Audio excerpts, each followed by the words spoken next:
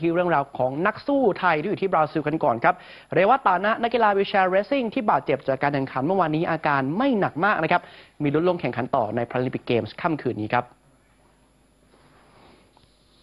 ความเคลื่อนไหวพาราลิมปิกเกมส์ 2016 ครับล่าสุดในการแข่งขัน wheelchair racing ระยะ 1,500 เมตร เมื่อคืนที่ผ่านมา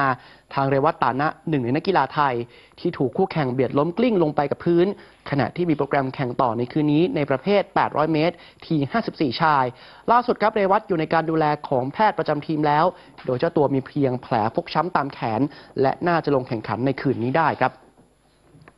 ส่วนอีกหนึ่งไฮไลท์ในคืนวันนี้ครับอยู่ที่พัทยาเทศทอง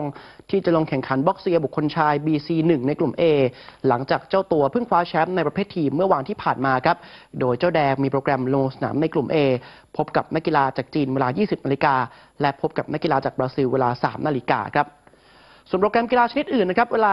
19 นาฬิกา 30 นาทีลุ้นอติเดชอินทนนท์แข่งขันปืนยาว 3 ท่า SH1 ครับ เวลา 20 นาฬิกา 17 นาที สมชายดวงแก้ว และชาคอนแก้วสี แข่งขันว่ายน้ำกบ 50 เมตร SB2 ชาย เวลา 20 นาฬิกา 30 นาทีครับ ยิงธนูทดกำลังชาย ลุ้นเมธาสินชัยสินฟ้า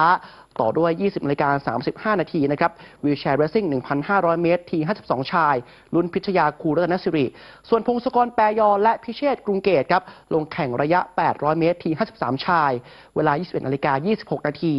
ส่วนช่วง 22นาฬิกานะครับลุ้นพรโชคลาภเย็น ในบอคเซียบุคคล BC4 กลุ่ม 4 พบสหราชอาณาจักรและบราซิลครับ ต่อด้วยบดินทร์สอนศรีวิชัย ในปืนสั้นอัดลม SH1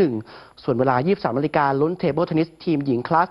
1-3 เวลา 2นาฬิกาครับวรวุฒิแสงอัมพาและวัชรพลวงษาแข่งบอคเซียบุคคล BC2